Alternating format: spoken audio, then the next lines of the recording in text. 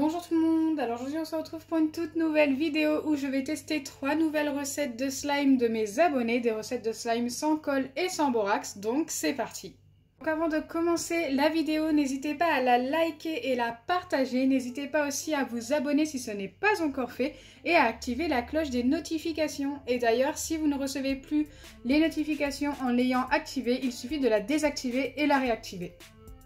N'hésitez pas également à me laisser un petit commentaire pour peut-être passer dans une de mes prochaines vidéos. C'est parti pour la première recette, j'ai besoin de shampoing, de dentifrice et de sucre. je dois commencer par mettre une cuillère entière de sucre en poudre. Ok, là je pense qu'on est pas mal. Ensuite, je dois ajouter une demi-cuillère de dentifrice et une demi-cuillère de shampoing. On va commencer par le dentifrice, une demi-cuillère. Et j'ajoute le shampoing avec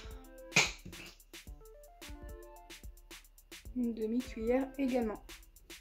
je dois commencer par mettre une cuillère entière de sucre en poudre. Ok, là je pense qu'on est pas mal. Ensuite, je dois ajouter une demi-cuillère de dentifrice et une demi-cuillère de shampoing. Donc on va commencer par le dentifrice, une demi-cuillère.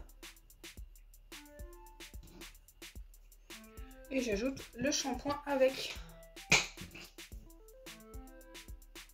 une demi-cuillère également. Une fois que c'est fait, je dois venir mélanger le tout pendant au moins une minute. Donc déjà, on va tout récupérer dans la cuillère. C'est parti, on mélange.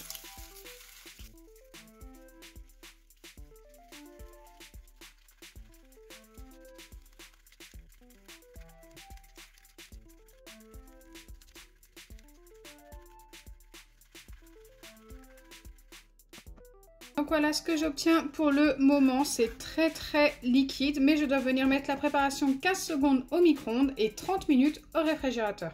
Donc je vais déjà passer ça au micro-ondes, vous montrer ce que ça donne et ensuite je mettrai ça au frais.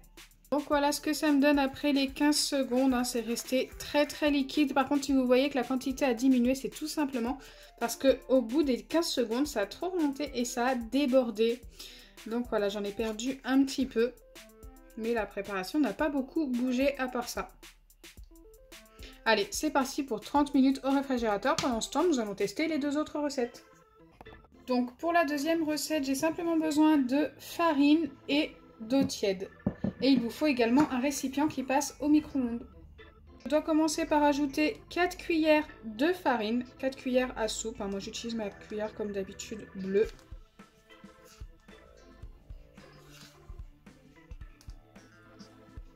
Et ensuite, je dois ajouter 3 cuillères d'eau.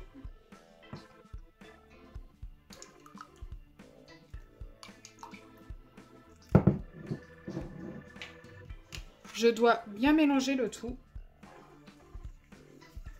Normalement, je dois obtenir une pâte. J'ai l'impression qu'il n'y a pas beaucoup d'eau par rapport à la farine.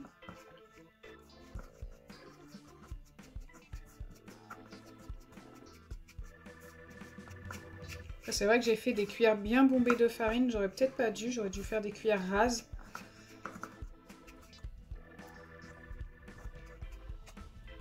je vais venir remettre un tout petit peu d'eau. C'est vraiment parce que j'ai mis des grosses cuillères de farine. Voilà, j'en ai vraiment pas mis beaucoup. Hein. J'ai mis euh, à peine une demi-cuillère en plus. C'est juste pour compenser un peu le trop de farine que j'ai mis.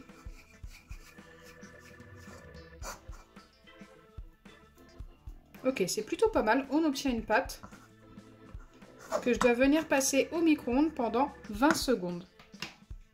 je l'ai passé 20 secondes au micro-ondes. La pâte a un petit peu durci, je trouve. Elle n'est pas très très chaude. Faites très attention quand même si vous reproduisez la recette. Je vais essayer de la travailler un petit peu à la main et normalement on doit obtenir quelque chose qui ressemble à un slime. J'ai plus l'impression qu'on va obtenir un truc qui ressemble à de la pâte à modeler.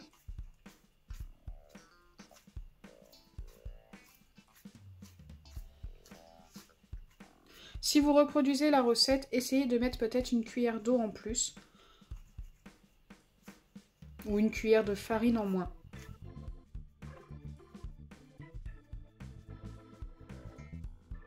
Donc voilà ce que j'obtiens. Donc on obtient bien une pâte, mais beaucoup trop compacte pour être un slime. Donc comme je vous ai dit, j'ai mis des grandes cuillères de farine, donc peut-être que j'aurais dû mettre des cuillères rases. C'était pas indiqué sur la recette. Mais bon, si vous voulez obtenir une pâte qui ressemble à de la pâte à modeler, pourquoi pas? En y ajoutant un petit peu de colorant, ça peut être plutôt sympa. Ça ne s'étire pas du tout. Hein. Pour la troisième et dernière recette, il nous faut de la farine, du gel douche et de l'eau. J'ai voulu la tester car la recette ressemble un petit peu à celle de tout à l'heure et en plus il faut également la passer au micro-ondes mais cette fois-ci 15 secondes. Les choses ne sont pas les mêmes. Il me faut 2 cuillères à soupe de farine.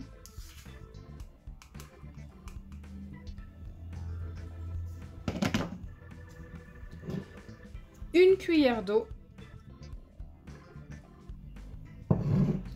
et une demi-cuillère de gel douche.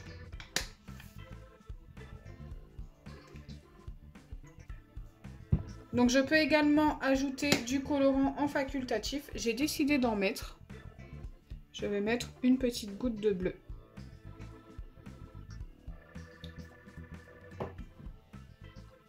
Allez, c'est parti. Je vais mélanger tout ça.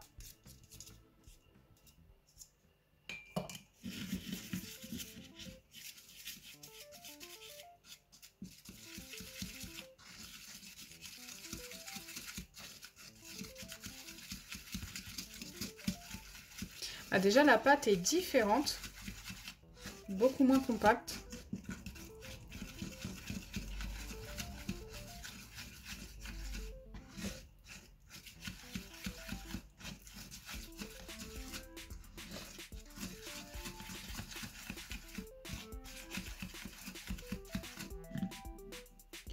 Je viens passer ça 15 secondes au micro-ondes et normalement je dois obtenir mon slime ce que j'obtiens après 15 secondes au micro-ondes? Écoutez, c'est très très chaud. La pâte a durci. Pour l'instant, je ne sais pas trop si ça a fonctionné.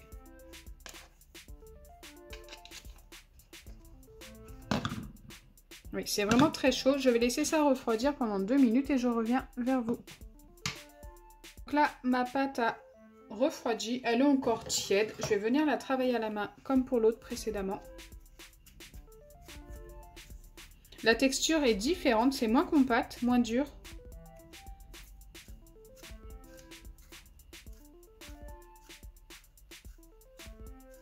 Je ne sais pas si c'est l'effet du gel douche.